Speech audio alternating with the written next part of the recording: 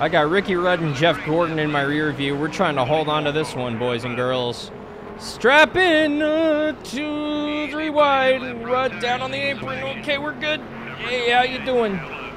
Woo!